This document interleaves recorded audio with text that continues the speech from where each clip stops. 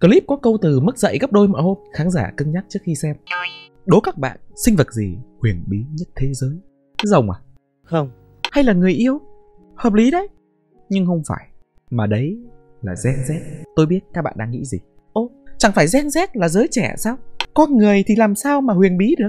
Quả thật Gen Z không có khả năng lẩn trốn như Pikachu. Càng không có khả năng mang đến những thứ huyền bí như con mèo máy nào đó. Nhưng Gen Z lại có một thứ mà không một giống loài nào có. Đấy là sự hãm vô biên. Chào mừng các bạn đến với chương trình Tuân chửi mọi thứ trên Internet. Nơi tôi buông lời chó má tới bất cứ thứ gì mà tôi tìm thấy trên mạng. Tập 2 Gen Z Tôi biết các bạn đang nghĩ gì. Ơ chú Tuân ơi, chẳng phải đó là độ tuổi của đại đa số người xem kênh chú sao? Hà cứ gì lại tự tay bắn vào chân mình như thế? Chú tính chửi cả những người đang xem chú sao? Như thế là tự hủy đấy. Tôi biết. Nhưng tâm hồn tôi là một vườn hoa lá vì sự hãm lòng mà rộn rã tiếng chim. Tôi không thể tiếp tục ngồi yên và chứng kiến cái cảnh cha ông năm xưa thì đánh đông dẹp bắc, con cháu bây giờ lên tiktok lắc mông như mấy con dở người được nữa rồi.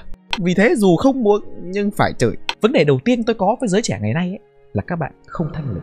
Tranh luận trên mạng, tôi nêu ý kiến của tôi, bạn nêu ý kiến của bạn. Chúng ta cố gắng tìm được sự đồng điệu giữa hai tâm hồn. Đây đa số trường hợp tôi nói với bạn bằng lời hay ý đẹp.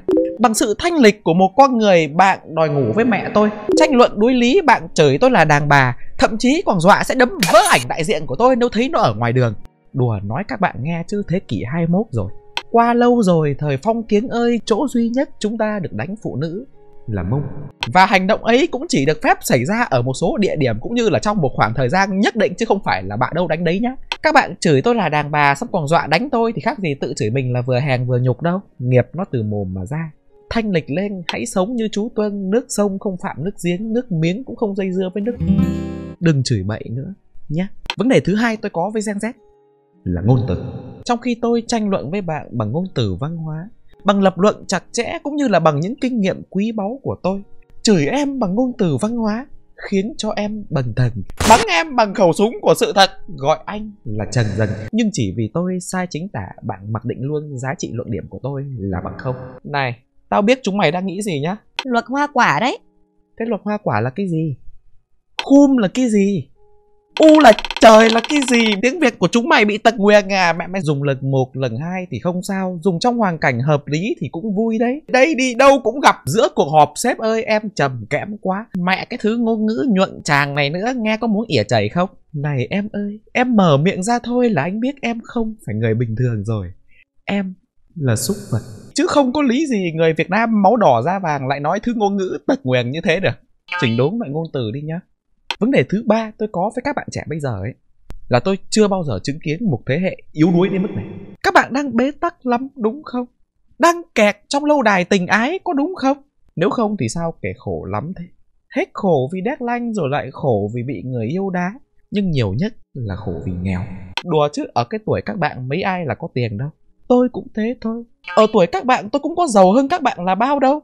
Ngày ấy mỗi lần bình xăng đóng lại là háng của người đàn ông ấy lại mở ra.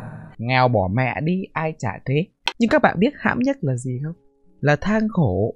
Nhưng mà không chịu làm. Các bạn có biết rằng để có được sự nghiệp vẻ vang như bây giờ, từng có thời gian tôi phải đi làm từ lúc gà chưa gáy cho đến khi chú gà chăm chỉ nhất đã nằm ngủ trên chuồng không? Các bạn có biết cái giá của thành công chính là cái nhan sắc đã từng cưa đổ biết bao nhiêu nàng thơ này không? Quần mắt thâm đen lại da sạm cả vào.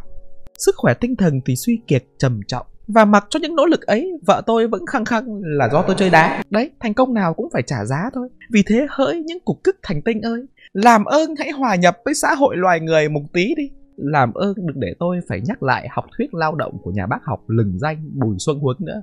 Làm đi đừng than vãn nữa. Thôi anh Tuân ơi, thế là đủ rồi, đừng trả đạp con tim chúng em nữa. ngồi yên đấy còn hai cái nữa này vấn đề thứ tư tôi có với các bạn trẻ ấy là sống ảo. Có cái gì là cứ khoe hết lên mạng thôi. Tôi hiểu điều đó mà. Ta còn trẻ ta muốn đi chơi ta muốn nổi bật nhưng hãy khoe những gì mà mình có thôi. Dạo một vòng tiktok ngực em như gói bim bim căng tràng sức sống mở ra. Hết hồn. Quanh như cái ném chua ấy cuộn thì lắm lá nhân thì tí teo sống ảo về cơ bản nó cũng như ỉa chảy ấy không có kết cục đâu.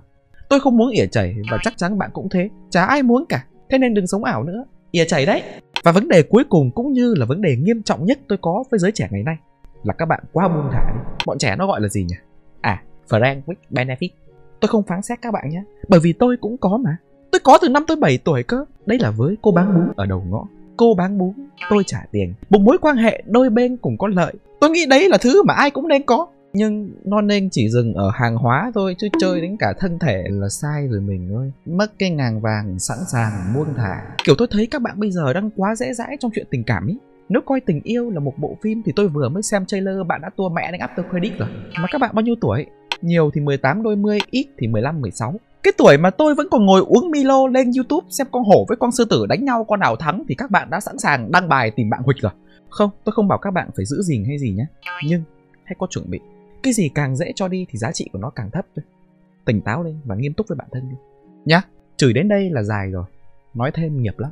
Những thứ các bạn vừa nghe là những lời mà tôi muốn nói với các bạn trẻ bây giờ. Không, video này không sinh ra để làm các bạn thấy xấu hổ. Nó cũng chẳng ra đời vì mục đích giáo dục đâu. Tôi nghĩ nó đơn giản là một tác phẩm trào phúng thôi học được gì thì học Cảm ơn các bạn đã lắng nghe chương trình các bạn chửi mọi thứ trên internet là tôi chưa bao giờ chứng kiến. Bạn tưởng là đã hết video rồi đúng không? Chào mừng đến với chương trình cuối mỗi video. Tôi gọi đó là comment đi và bạn sẽ lên TV someday. Nơi mà tôi sẽ trả lời câu hỏi của các bạn. Comment đầu tiên của Trần Đức Nam. Comment này thì không phải là câu hỏi đâu, nhưng mà đọc cái bình luận này xong tôi bị xúc phạm. Bạn ơi, ông ấy sợ ma. Sợ ma? Ôi con ơi, con đang nói một người ở bên kia sườn dốc là sợ ma đấy à? Ma của con cũng đáng sợ đấy Nhưng có đáng sợ bằng lòng người không? Đáng sợ thế đéo nào được. Chú sống đến tuổi này rồi Trải qua nhiều thứ lắm rồi Đến lòng người chú còn không sợ nữa là mấy con ma của con. Con mừng tiếp theo của Lê Thị Bảo Thanh. Video của chú lúc nào cũng hay Hài hước hết. Thực sự rất ngưỡng mộ chú Tuân. Chú lại để ý cái con mừng phía dưới cơ. Hay như cậu vậy. Trời đất ơi, Tuân sống đến tầm này tuổi rồi mà Tuân chưa bao giờ thấy một pha tán gái thảm hại như thế này. Hai đứa yêu xa lâu chưa? Bạn nữ bên trên thì sống ở thế kỷ 21 Thằng CT Duy ở dưới lại sống ở thế kỷ 19 Ui con ơi thế kỷ 21 rồi còn tán gái như thế này thì ế là đúng rồi đấy. Con mừng tiếp theo của Lèo Mồm. Chú Tuân ơi chú thử chia sẻ về các môn học chú ghét và thích hồi đi học đi ạ. Sao chú tạo ra nhiều câu văn câu thơ hay thế? Hồi đi học thì chú thích văn sử địa Ghét toán lý hóa. Chú đặc biệt giỏi môn ngữ văn và đặc biệt dốt môn uh, vật lú Sao chú tạo ra nhiều câu văn câu thơ hay thế? Chú đọc sách này Chú viết lách này. Thực ra thì ý tưởng ở quanh ta ấy Cứ nhìn đâu chả thấy. Đêm khuya mưa gió bão bùng, Ba ơi, ba để, cái mùng ở đâu? Cái mùng ba để trên lầu con lên con kiếm chai dầu cho ba. Chai dầu con kiếm hống ra, Ba ơi, con đã kiếm ra cái mùng đấy, Xong bài thơ có gì đâu. Em đưa tay đón nắng dưới hàng sữa ven đường, Cuộc đời này cũng lạ cực cũng có mùi hương. Đấy, ý tưởng ở xung quanh mình hết Có lấy được không thôi. Con mừng cuối cùng của Silver V.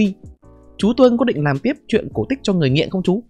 Ờ ý cháu là cổ tích cho người hôi nách xem bánh cuống lắm luôn. Thực ra thì cái series cổ tích cho người hôi nách nó là vợ chú chủ trì, nghĩa là vợ chú viết, còn chú chỉ đọc thôi. Mà vợ chú theo đánh giá là một người hết sức bản năng, mà đã bản năng thì không ai bắt họ làm gì được. Cho nên chắc là series chết mẹ rồi con nhá.